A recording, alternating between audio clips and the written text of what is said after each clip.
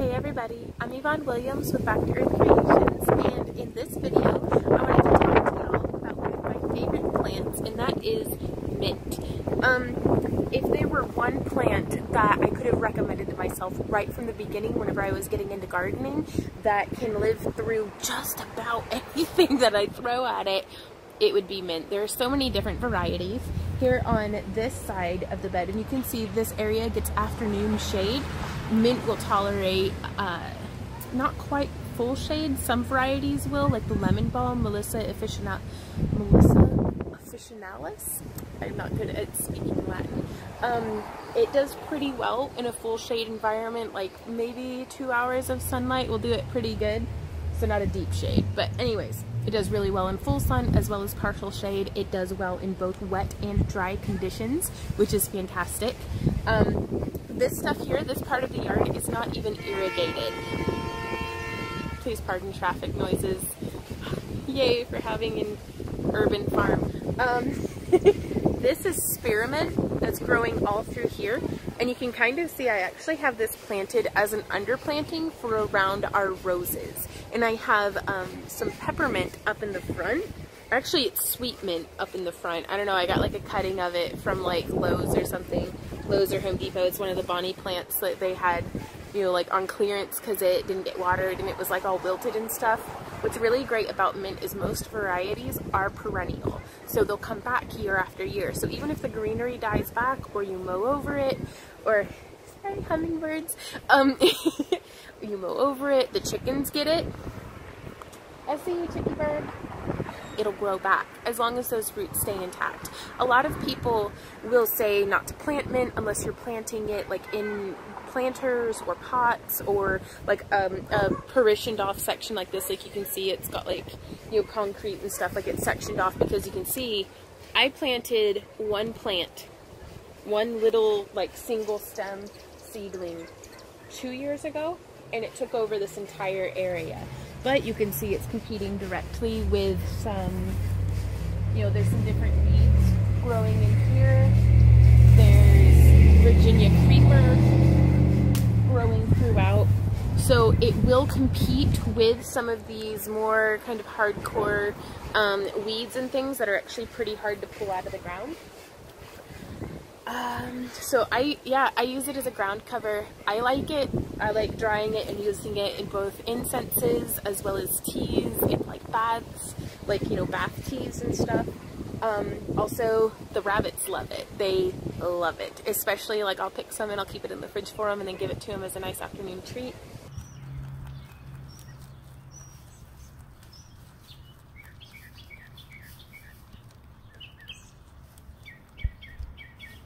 to propagate, which is like make more of your mint, I've had a really hard time getting it to grow from seed.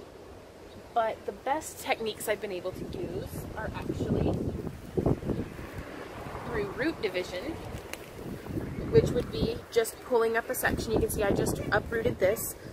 I would take it, you can see it's got some white clover growing in with it. Um, I would take this and I would repot it and keep it inside in a really sunny spot for about a week just to let it start, week or two actually, just to let its roots get over that trauma of just getting ripped out of the ground. You could, if you wanted, use like a hand trowel and dig up a section, but I would just take this and go and replant it somewhere else in the yard. So this is the two weeks after shooting the original video, we have a nice bit of new growth. We have a little bit of growth coming here off of the stem.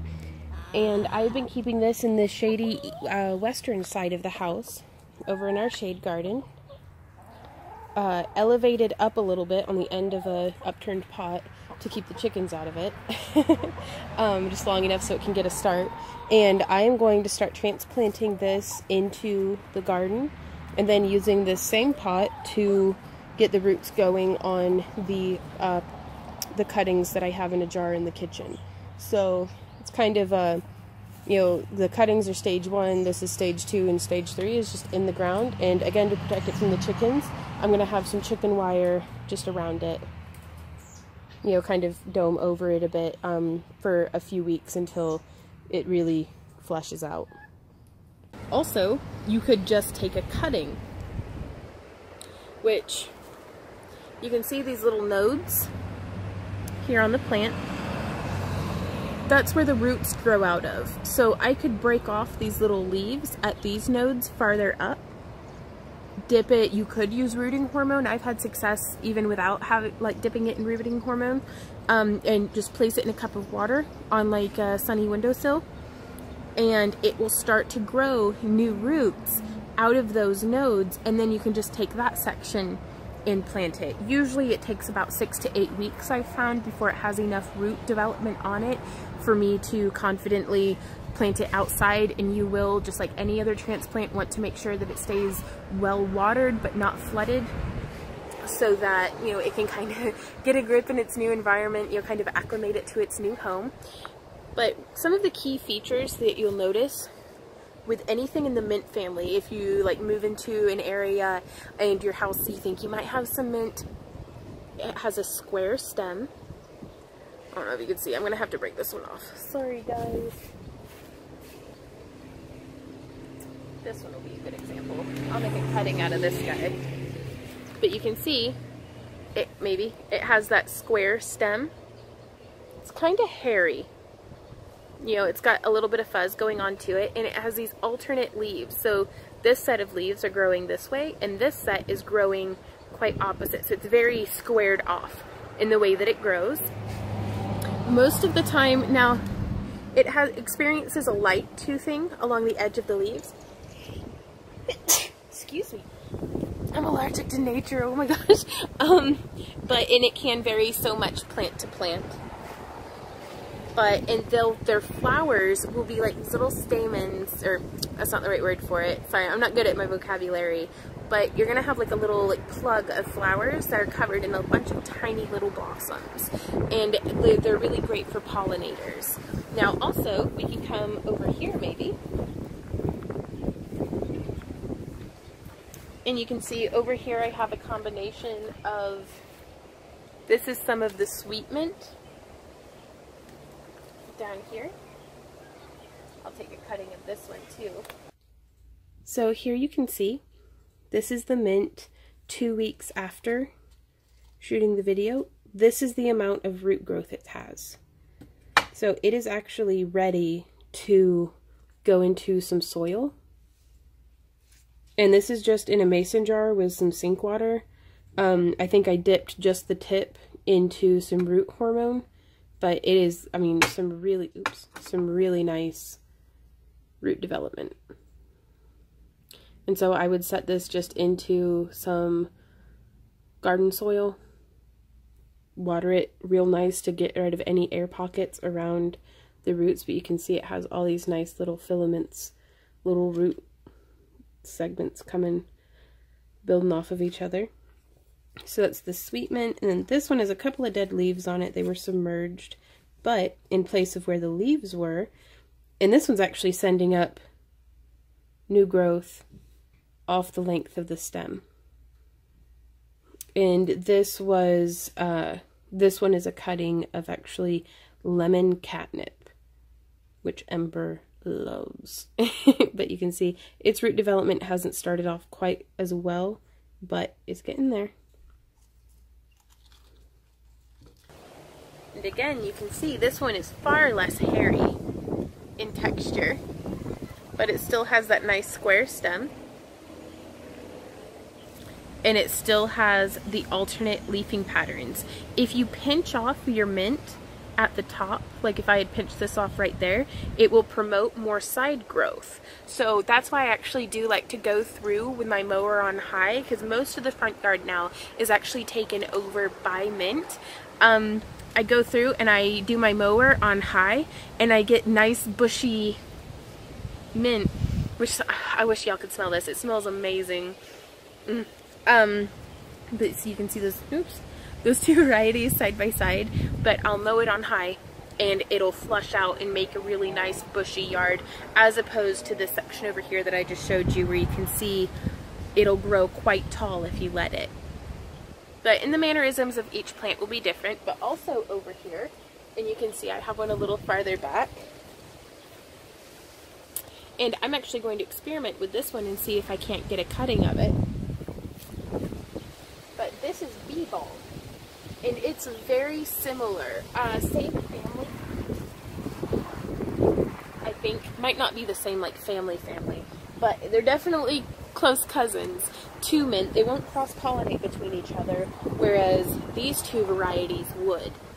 Um, but yeah, it, it has very similar tendencies. It still has a hairy stem, very square, alternate leaves, same kind of toothing pattern around the edges.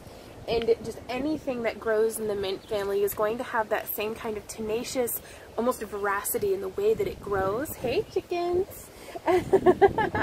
There's the girls. Um, there goes my hat too. But I really like it because these chickens, like even I've had to protect the mint from the chickens. They are so hard on this. All these little covers and things that you see in my garden are to keep my plants safe from the Spice Girls. Um, but they, they, are such good birds though. But um, the mint will hold up to all of that. And so whenever you're getting into gardening, um, and you want something that's going to be able to live through you watering it too much or you not watering it enough or uh, just mint's a real trooper and just the fact that it comes back year after year and again on the note of it does get out of line but it is so much easier to rip this stuff up than it this stuff up this mint up than it is to battle with Bermuda or crabgrass or some of these other weeds basically that are taking over my yard that I feel like don't really serve a good purpose. I like I don't mind dandelions, I don't mind dead nettles, which are actually a relative of mint. Hey, girl, what you doing? I got that belly. Yes, I do.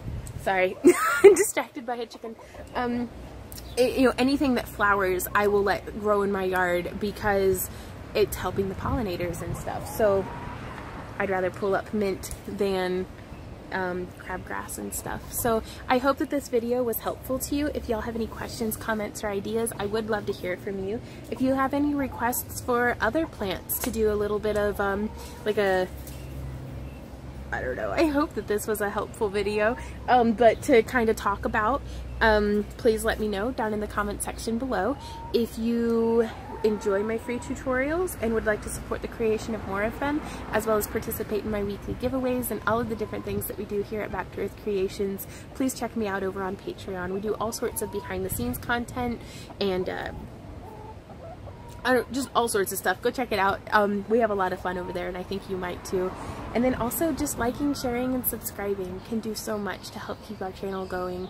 So thank you guys again and until next time, happy crafting happy gardening, and we'll see you around. Bye!